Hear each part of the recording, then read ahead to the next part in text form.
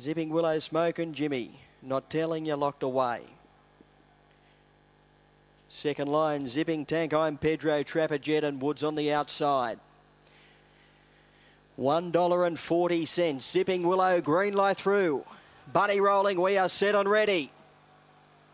Racing, zipping Willow began cleanly. She's burning and look at her go. She led by three at the first turn to Smoke'em Jimmy, followed up by Woods. Back on the inside was I'm Pedro. Further back in the run, Shepherd Jet and not telling you at the tail down the back. And Zipping Willow is ripping and tearing along in the lead. She led by 12 to Zipping Tank going to second. Then I'm Pedro, followed up by Smoke'em Jimmy. This is win number 20. She is a little freak. Zipping Willow by eight. Zipping Tank second, 39 Pedro, then Smoke'em Jimmy, followed by Trapper Jet, then Woods, and not telling you last around 29 8 the gallop.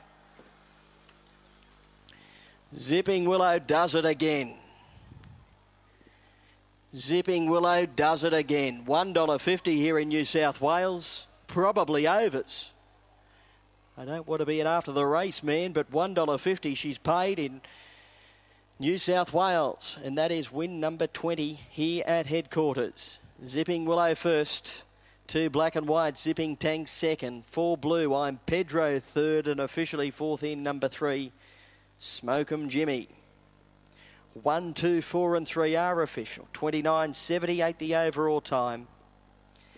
And Zipping Willow is a black bitch by Goodsy out of Sirocco Lass owned by Marty and Fiona Hamilton, trained by Jason McKay at Richmond Vale, and that is a